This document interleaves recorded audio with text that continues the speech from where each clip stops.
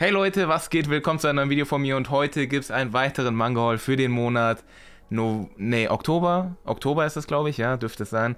Ähm, ja, professionell wie immer. Und äh, wie viele Spender es geworden sind, habt ihr wahrscheinlich im Titel gesehen. Ich weiß nämlich jetzt noch nicht, das werde ich am Ende nachzählen. Und ich hoffe, ihr habt sehr, sehr viel Spaß bei dem Video und let's go. So, fangen wir erstmal mit ein paar kleinen Extras an, die ich bekommen habe. Und zwar habe ich einmal die Leseprobe von My Boy mit äh, dem Bonner Comic Shop, äh, mit der Bonner Cop mit der Bestellung vom Bonner Comic Shop äh, mitgeliefert bekommen. Und ähm, ja, My Boy wollte ich generell mal anfangen, beziehungsweise lesen vom Manga Kalt. Äh, die Thematik ist ziemlich interessant und die Zeichnungen sehen auch ziemlich gut aus. Ich kann euch mal ein paar Zeichnungen zeigen. Ähm, ja, also es geht halt um eine ältere Dame äh, und einen kleinen Jungen und ähm, eine Beziehung. Jetzt keine romantische oder sexuelle Beziehung, sondern äh, sie fühlt sich halt irgendwie für ihn verantwortlich oder zu ihm hingezogen, wie ich das jetzt mitbekommen habe. Ich habe da natürlich äh, noch nicht reingelesen, weil die Bestellung kam, glaube ich, erst gestern an und ich hatte jetzt keine Zeit. Aber es wird noch gemacht und dann habe ich noch, von heute war ich noch im Hugendubel, habe mir noch Sachen geholt und da gab es einmal den äh, Sticker von äh, Angels of Death, den werde ich mir wahrscheinlich nicht holen, aber ich habe den Stick einfach mal mitgenommen, weil, keine Ahnung, nimm mal einfach mal mit, wenn es umsonst ist, ne? Man kennt's und dann habe ich hier noch eine äh, Magazin von Tokyopop mitgenommen äh, mit den neuen Sachen und einmal hier mit den, ähm, wie heißt er nochmal, The Grandmaster of äh, Demonic Cultivation, den Webtoon, weil die haben ja den, äh, die Light, äh, das ist eine Light Novel, ne? Oder ist das ein Roman? Ich glaube, das ist eine Novel. Auf jeden Fall, die haben den schon gebracht und das ist jetzt die äh, Webtoon-Fassung. Und da habe ich auf jeden Fall äh, Bock, da mal reinzulesen, vor allem weil da voll Farbe ist. Und ähm, soweit ich weiß, wenn nicht, korrigiert mich bitte. Und ähm, ja, so viel zu den Extras. Und wir kommen jetzt zu den Mangas. Ah. Oh, scheiße, ich muss sie umdrehen. Sonst macht es keinen Sinn von der Reihenfolge her. Ubala. Boah, das wird jetzt eine Meisterleistung, Leute. Glaubt ihr, ich schaff's oder nicht? Ab in die Kommentare damit. 3, 2, 1, ich bin richtig dumm. Hoppala. Okay, hat funktioniert. So Leute, ich habe jetzt ein paar Reihen, die perfekt zum November passen, Leute. Ihr wisst Bescheid. Und zwar habe ich erstmal die ersten vier Bände von Nightmare Maker geholt äh, von eBay Kleinanzeigen. Ist eine ganz gute Qualität eigentlich. Kann man sich eher weniger beschweren. Und ähm, ja, wie bin ich auf die Reihe aufmerksam geworden? Natürlich durch äh, Brown, ne? Und ähm, ja, da habe ich gedacht, komm, ich muss mal ein paar mehr Edgy-Titel holen, da ich ja nicht so viele hier hatte. Ich glaube, ich habe nur Testament of Sister New Devil, High School DD. Ja, Modern Adult, wenn man es so sehen möchte. Da habe ich mir letzten Monat schon ein paar geholt. Und äh, da war der hier auch mit vertreten. Und zwar leider nur 1 bis 4. Eigentlich hat die Reihe 6 Bände. Und ähm, ja, ich glaube 5 bis 6 werde ich nie mein Leben kriegen. Weil, ja, ist einfach sehr, sehr schwer zu bekommen. Bei Rebuy, bei Medimobs, bei Kleinanzeigen, nirgendwo ist der verfügbar. Sehr, sehr schwer. Und ähm, ja, dafür habe ich aber eine andere Reihe komplett und zwar gesammelt. Ich habe nämlich äh, von der Person bei eBay Kleinanzeigen diese vier Bände geholt. Dann habe ich äh, zwei Bände von dieser Reihe hier geholt und zwar von Velvet Kiss habe ich alle vier Bände. Ähm, ja, mit vier Bänden auch abgeschlossen und da habe ich mir noch 3 und 4 mitgekauft bei der bei Kleinanzeigen. Äh, den zweiten Band hatte Panini noch auf Lager, den habe ich dann einfach so gekauft. Und den ersten Band habe ich, ähm, wie habe ich den ersten Band nochmal bekommen? Ja, stimmt, den ersten Band habe ich dann noch bei Medimobs äh, wegen Kaufalarm gesetzt und äh, dann direkt geholt. Und ähm, ja, deswegen habe ich hier alle vier Bände von Velvet Kiss. Soll ein etwas, ähm, ja, wie soll ich sagen? Ja, komm, es, es, ist eigentlich kein Edgy mehr, es ist schon, es ist schon mehr als Edgy. Und ähm, ja, bin ich auf jeden Fall mal gespannt. Ein bisschen durchgeblättert habe ich schon. Ist auf jeden Fall sehr, sehr spicy. Und äh, dann habe ich jetzt auf jeden Fall die beiden Reihen. Und dann habe ich noch eine Reihe, auch nur teils bekommen, von der, die es bei eBay Kleinanzeigen verkauft hat. Und zwar die ganzen drei Reihen hier. Einmal Nightmare Maker, Velvet Kiss. Und von der Reihe hat sie Band 3 bis 12 mir verkauft, warum auch immer sie 3 bis 12 hatte, aber ist okay. Und dann habe ich mir die anderen Bände halt so gekauft. Und zwar ist die Rede von Heimliche Blicke. Heimliche Blicke, Band 1 bis 13 komplett von Kase. Und ähm, ja. Ich glaube, für den November habe ich auf jeden Fall von Edgy-Titeln Titeln ausgesorgt. Und die Cover sind auch wunderschön. Natürlich äh, kann man da Sachen durcherkennen, auch wenn da es äh, zensiert sein sollte durch diese Lichtdinge, aber trotzdem sieht man da was, keine Ahnung. Jetzt guckt er natürlich genau dahin, ihr Schlingel. Aber ich kann da jetzt äh, nix für auf YouTube kriegen, glaube ich, oder? Ist ja, ist ja gut zensiert hier. Ist auch so im Verkauf. Deswegen wird schon, wird schon. Und ja, Band 9 haben ja manche auch als Lieblingscover. Kann ich verstehen, sieht echt nice aus. Dann haben wir hier Band 10 noch. Dann haben wir noch Band 11. Band 12. Was auch sehr, sehr nice aussieht, muss ich sagen. Und den Abschlussband Band 13. Und ich bin echt mal gespannt, wie die Reihe ist, weil äh, sie soll ja für eine Edgy-Reihe eine ziemlich solide Story haben. Bin ich auf jeden Fall mal gespannt. Ich glaube, ich weiß, in welche Richtung es gehen könnte. Von denen, was ich jetzt einfach mal so durchgeblättert habe oder so. Ich habe jetzt äh, noch nicht angefangen zu lesen. Aber ich bin gespannt und ich lasse es euch wissen. Aber ihr wisst, ich habe zurzeit nicht so viel Zeit zum Lesen. Und wenn, dann lese ich hier Tech on Titan weiter. Äh, liegt jetzt da drunter auf dem Lesestapel. Ähm, ja, weil wie gesagt, ich lese jetzt nicht immer zwischenhin, sondern nur die neuen Reihen, die reinkommen. Zum Beispiel ähm, Mein Star kommt rein, lese ich direkt oder Boys Abyss oder The Kingdoms of Ruin. Ähm, und dann halt eine Hauptreihe, wie zum Beispiel Attack on Titan. Ich will jetzt nicht äh, heimliche Blicke anfangen, dann will ich noch das anfangen. Sonst ist mir alles zu viel Mischmasch und ich kann mich nicht komplett auf die Story einlassen. Ist für mich jetzt so. Äh, vielleicht bin ich auch einfach so, der nicht mehrere Reihen nebeneinander lesen kann. Aber so gefällt es mir tatsächlich am besten. Deswegen wird es erstmal im Regal stehen bleiben, Leute. Und ähm, das es, glaube ich, auch schon mit den Edgy-Titeln für diesen Monat. So, Leute, doch noch ein paar Edgy-Reihen gefunden. Und zwar habe ich einmal hier Kleipnir. Da ist sehr viel Edgy-Anteil drin, soweit ich gehört habe und gesehen habe. Aber es ist halt eher so ein Action- und äh, Fantasy-Manga, soweit ich weiß. Habe ich mir den ersten geholt, weil in der Erstauflage gibt es noch so einen Umschlag, beziehungsweise ist, glaube ich, auch ein Poster, wenn man es auspackt. Und ähm, ja, deswegen habe ich den einfach mitgenommen. Gleitner wollte ich äh, sowieso anfangen und den ersten wollte ich unbedingt in dieser ähm, Version haben. Deswegen habe ich mir den ersten schon mal geholt. Wann ich die nächsten Bände holen werde, weiß ich noch nicht. Demnächst irgendwann, aber da habe ich auf jeden Fall schon mal den ersten Band hier. Dann habe ich den dritten Band von äh, The Tale of the Wedding Ring. Und ähm, ja, wieso habe ich äh, den geholt? Wegen den Shikishi, der da drin ist. Ein Moment, ich pack's mal kurz aus. So Leute, ich habe es ausgepackt. Ich muss auf jeden Fall sagen, das Cover gefällt mir von der Machart her. Das ist auch so schön matt und so. Das ist echt nice. Und wo ist das Shikishi? Das Shikishi ist hier und das ist echt ein ziemlich hochwertiges sogar. Ist Pappe. Und ähm, ja, so sieht das aus. Ihr wisst, meine Kamera ist die beste Kappa. Äh, auf jeden Fall glänzt es noch so. Ist schön goldene Schrift da oben, die auch schimmert. Mit äh, so einer goldenen Krone. Und auf der Rückseite gibt es noch meinen kleinen Text. Finde ich auf jeden Fall sehr schön. Ähm, Tale of the Wedding Ring auch ein edgy Titel, den ich vielleicht auch in Zukunft anfangen werde, beziehungsweise ich habe jetzt einen dritten Band, deswegen wird es. Ich gucke mal kurz rein. Aha, okay, ich glaube, den kaufe ich mir weiter.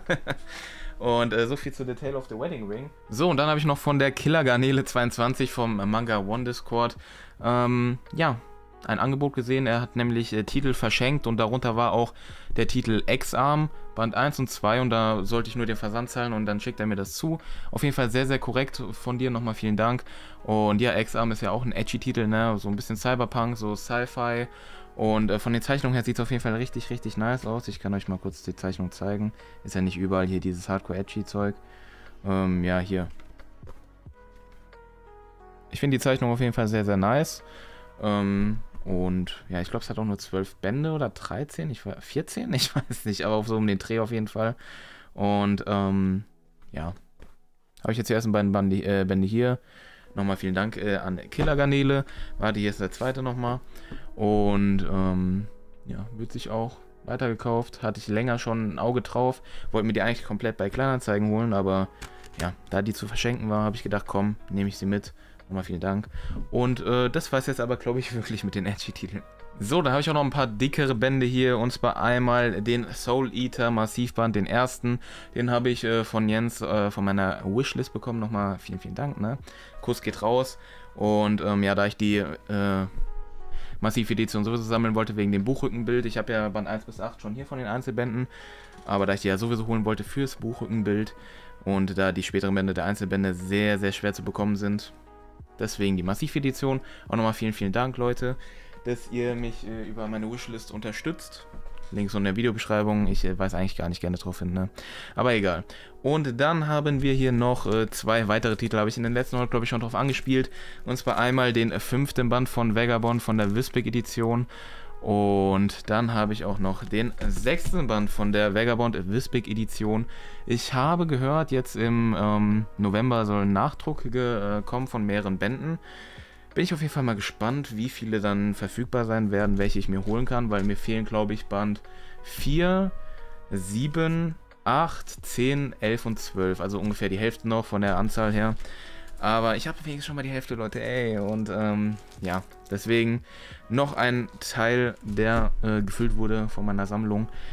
Und ich bin echt gespannt, ob ich, ja, dieses Jahr wird safe nicht mehr sein, glaube ich, wo ich Vagabond äh, komplett habe. Aber nächstes Jahr irgendwann. Ich werde drauf hinfiebern. Road to all Vagabond Mangas. Leute, ihr wisst Bescheid, Young Way. Ach, es, es ist wirklich nicht so leicht, Leute. Es ist wirklich nicht so leicht. So, da wir eben dicke Bänder als Thema hatten und davor äh, X-Arm mit dem äh, Genre Sci-Fi, habe ich hier einen passenden Titel zu den beiden Sachen. Und zwar The Ghost in the Shell in der, ich weiß gar nicht, wie die Edition heißt, Deluxe-Variante.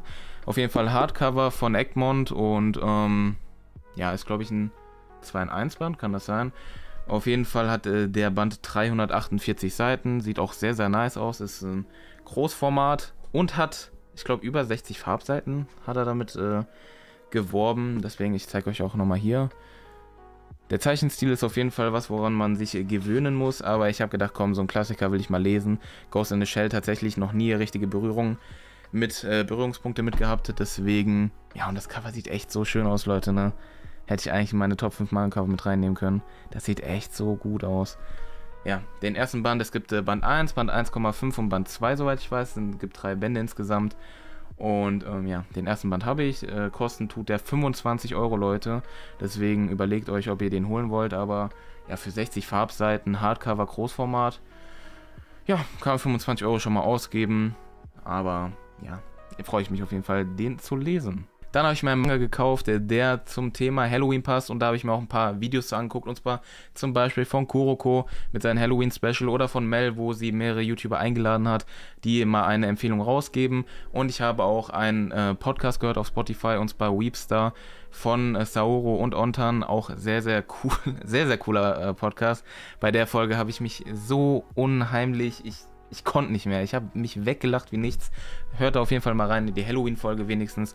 Und ähm, ja, da wurde ein Titel sehr oft genannt, und zwar der Einzelband Dark Hideout. Und äh, den habe ich mir dann auch äh, direkt bestellt. Den habe ich schon öfter mal in Sammlungen gesehen und so habe dann gedacht, ah ja, vielleicht. Und ähm, ja, so wie ich das dann jetzt äh, mitbekommen habe, scheint er wirklich richtig, richtig gut zu sein. Und ich habe Bock, den zu lesen. Und der Zeich ist ja der Zeichner von Rainbow, soweit ich weiß. Und deswegen erwarten mich wahrscheinlich auch sehr, sehr gute Zeichnungen. Ähm, und ja, so viel zu Tag Hideout. Sehr, sehr viel geredet für ein Band, aber das ist es wert gewesen. Und ähm, dann machen wir direkt weiter. Und zwar mit dem mit den Neuerscheinungen tatsächlich, und zwar von Kase, den vierten Band von äh, Das Biest des Königs. Das Biest des Königs wirklich eine sehr, sehr nice Reihe. Wenn ihr in das Thema Romans einsteigen wollt, könnt ihr hiermit eigentlich ganz gut einsteigen. Das ist Romans, aber auch mit viel Action, Fantasy und es macht einfach richtig Bock zu lesen und die Zeichnungen sind wirklich eine Klasse für sich, Leute. Ohne Scheiß. Und ähm, ja, kann ich auf jeden Fall jeden von euch empfehlen. Ich habe ja die ersten drei Bände schon hier und gelesen. Mir gefällt der sehr gut und wenn ihr nach den ersten zwei Bänden nicht so gehuckt seid, dann könnt ihr es eigentlich sein lassen. Aber gebt den auf jeden Fall mal mit den ersten beiden Bänden eine Chance. Und ähm, ja, wirklich. Ist eine Empfehlung für mich, äh, für euch, von mir. ähm, dann machen wir direkt weiter mit den, ähm, ja, mit der Limited Edition von äh, Kaiju Number 8 äh, mit einem Poster hier drum will ich jetzt nicht ausklappen, ist mir viel zu viel Arbeit. Auf jeden Fall habe ich schon Bilder gesehen, dass es äh, sehr, sehr schwer sein soll, das irgendwie an die Wand zu machen, weil da so viele Knicke sind, dass man kaum das Motiv erkennen kann. Auf jeden Fall ähm, vielleicht nicht so ganz schlau gemacht, aber ist okay.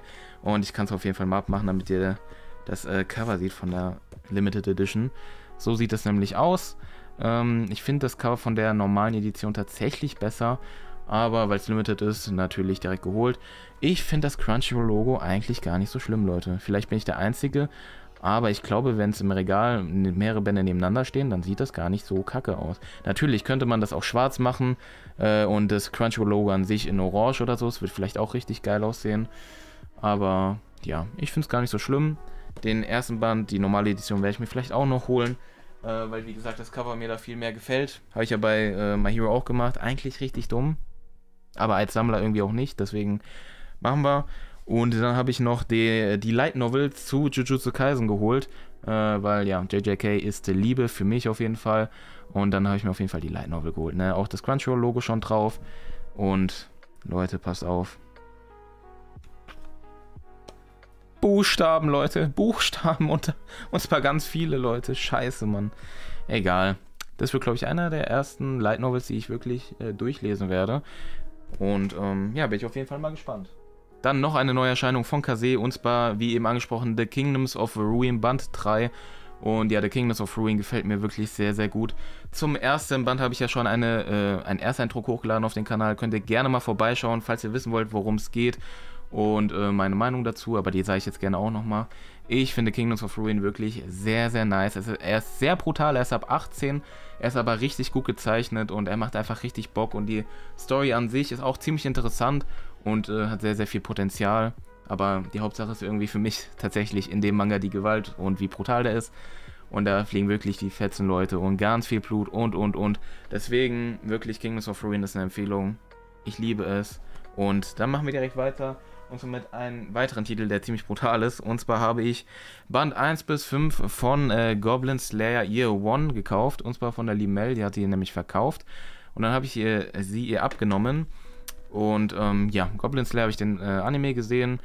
Hat mir auch gut gefallen, tatsächlich. Und ähm, ja, so ein Fantasy-Setting ist sehr, sehr nice. Und das ist ja die Vorgeschichte von Goblin Slayer. Deswegen, äh, ja, ich könnte eigentlich auch mal normal, den normalen Manga Goblin Slayer holen, um weiterzulesen. Und ähm, ja, aber jetzt habe ich erstmal die Year One Edition, Band 1 bis 5. Und Leute, die Year One Edition, äh, Edition sage ich, das ist ja keine Edition. Äh, Goblin Slayer One, die Vorgeschichte, das äh, Prequel, fängt genauso an wie der normale äh, Manga-Slash-Anime von Goblin Slayer. Ich glaube, ich muss nicht weiter drauf eingehen, ihr wisst genau, was ich meine. Und ähm, ja, da habe ich Bock reinzulesen, Leute. Richtig, richtig Bock. Und dann machen wir direkt weiter hier mit äh, einer weiteren Sache, die ich von Kleinanzeigen geholt habe. Und zwar, ich weiß gar nicht für wie viel, ich glaube 12 Euro oder so. Und zwar Band 1 bis 3 von der Broken Girl und mit drei Bänden auch abgeschlossen. Deswegen sehr, sehr nice. Kann ich dann äh, direkt am Stück lesen. Und ähm, habe ich auf jeden Fall Bock drauf. Habe ich äh, viel Gutes von gehört. Mit drei Bänden kann man generell, glaube ich, nicht viel falsch machen. Und ja, die Cover sehen auch sehr, sehr nice aus, Leute. Sehr, sehr nice. Und die Zeichnung natürlich auch, ne? Die Anspielung auf äh, das Video von Yanwei mit den äh, zehn Arten von ähm, Manga-Sammlern war das, glaube ich, ne? So hieß es das. Und ja, schaut auf jeden Fall auch gerne vorbei, wenn ihr es noch nicht gesehen habt. Und was habe ich denn noch hier? Ah, da habe ich noch zwei Bände, Leute. Und zwar habe ich einmal noch den äh, zweiten Band von Call of the Night gekauft. Ähm, ja, Call of the Night habe ich ein Anime gesehen, ich glaube die ersten drei Folgen oder vier. Ähm, hat mir sehr gut gefallen, deswegen hole ich mir auch den Manga, habe ich Bock drauf. Und ähm, ja, dann Full Metal Alchemist in der Ultra Ultra Edition, Band 2, die werde ich mal holen. Ich werde nicht die ähm, Full Metal Edition holen. Ich werde nicht die Einzelbände holen, ich werde die holen. Ist vom Preis-Leistung her einfach am besten und ich finde die Aufmachung auch ziemlich cool, auch vom Spine her. Deswegen passt perfekt für mich. Und das war's, glaube ich, schon von allen Mangas, weil ich glaube, hier habe ich jetzt keine mehr rumliegen. Oder? Ne, ich glaube, das war's. Oder? Einen Moment. Hier habe ich nochmal zwei Bände. Ich weiß nicht, ob ich die im letzten heute schon hatte, deswegen zeige ich sie jetzt einfach nochmal rein. Und zwar Band 1 und Band 2 von Komi Can Communicate von äh, Mugi geschenkt bekommen. Nochmal vielen, vielen Dank. Der Kuss geht raus. Und ähm, ja, den Anime habe ich gesehen. Der Anime gefällt mir wirklich richtig gut. Ich weiß nicht, ob der als Manga genauso gut ist. Auf jeden Fall von den Zeichnungen her finde ich den tatsächlich schwächer als der Anime, viel schwächer sogar, aber ja, der Zeichenstil entwickelt sich wahrscheinlich auch noch, um so länger es geht. Ich weiß gar nicht, wann der Manga angefangen wurde zu zeichnen, da kann ich gerade mal reingucken. Der wurde angefangen und zwar 2016 und jetzt haben wir 2022 und ich glaube, der läuft immer noch oder ist er schon abgeschlossen, Leute? Schreibt es mir gerne mal in die Kommentare. Und ich habe, glaube ich, vom aktuellsten Chapter mal Zeichnung gesehen und die ist schon gut besser geworden. Deswegen bin ich guter Dinge und das waren jetzt wirklich alle Mangas, Leute. Deswegen sehen wir uns gleich bei der Abmod. So Leute, ich habe doch noch einen Band vergessen. Und zwar den dritten Band von Mashal in der ersten Auflage noch, wegen dem Glitzer da oben. Ne? Glitzer ist immer wichtig, Leute. Ihr wisst Bescheid. Und ähm, ja, Mashal immer noch nicht reingelesen. Ich mach's kurz. Und äh, ja. Aber ich hab Bock. Werd da reinlesen. Ihr werdet äh, wissen. Ich äh, poste ja immer, was ich gelesen habe, auf Insta in die Story. Und äh, ja, da schreibe ich dann auch meistens meine Meinung dazu. Deswegen schaut gerne auf Insta vorbei, Leute. Und jetzt aber wirklich vorbei. Los zur Abmoderation. So Leute, das war's mit dem Manga für den Monat Oktober. Was habt ihr euch gekauft? Schreibt es mir gerne unten in die Kommentare rein. Das interessiert mich wirklich. Ich muss es, glaube ich, immer sagen, weil ihr glaubt mir nicht, äh, dass ich das ernst meine. Und ja, wenn euch das Video gefallen hat, lasst mir gerne einen Daumen nach oben da. Abonniert den Kanal für mehr Videos. Und der, boah, der Spruch war schon alt, ne? Das habe ich, glaube ich, lange nicht mehr gesagt. Und für alle, die jetzt noch dran geblieben äh, sind, äh, sind Ehren, Männer oder Frauen, weil ihr kriegt jetzt noch gesagt, dass ich die nächste Woche kein Video bringe, weil ich im Urlaub bin. Deswegen wartet nicht auf ein Video. Ähm, und ja, aber vielen Dank für den ganzen Support, dass ihr immer dabei seid, äh, zuschaut, abonniert habt, äh, den Daumen nach oben gedrückt habt. Wirklich vielen Dank. Und dann sehen wir uns im nächsten Video oder Stream wieder, Leute. Und ciao.